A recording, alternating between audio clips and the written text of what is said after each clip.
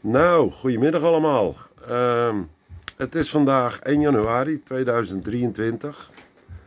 Eh, ik wil als eerste iedereen een eh, fantastisch 2023 toewensen en ook een heel vredig jaar. Eh, er is op het moment zoveel ellende in de wereld.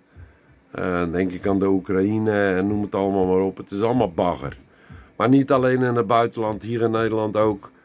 Ehm, mensen die de energie niet meer kunnen betalen, die in de kou zitten, mensen die naar voedselbanken moeten, enzovoort, enzovoort. Het is, uh, er is best wel een hoop troep in de wereld.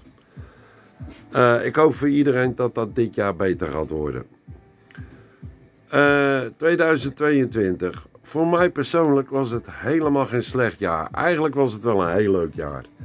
Uh, ik ben begin dit jaar in maart getrouwd met uh, wat ik de mooiste vrouw vind die ik ooit in mijn leven ben tegengekomen. Uh, ik ben voor de vijfde keer ben ik opa geworden. Waar is ze? Daar, die kleine, Nathalie.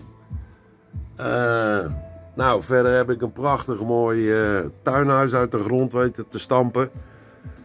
van een bouwval heb ik daar echt wat leuks van weten te maken. Ik heb er een mooi schuurtje bij gebouwd.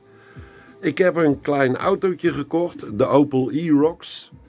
Die had ik begin december moeten krijgen, maar daar is iets fout gegaan. Het ding staat nu nog in Marokko, maar ik hoop toch dat ik hem deze maand ergens ga krijgen.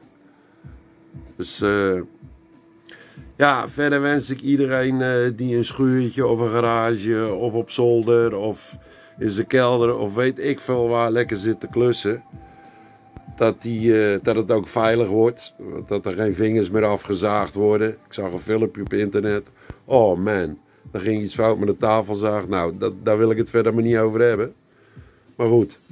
Dus ik wens iedereen een heel veilig jaar. Op alle gebieden en op alle manieren. En ook een heel gelukkig jaar. Nou, dat was hem eigenlijk wel. Oh ja, ja, ik heb uh, ja, de afgelopen maand, december, heb ik eigenlijk niet veel gedaan. Maar ik heb wel voor komend jaar heb ik toch wel een paar hele leuke projecten. Uh, ik ga om te beginnen de trapkast helemaal opknappen.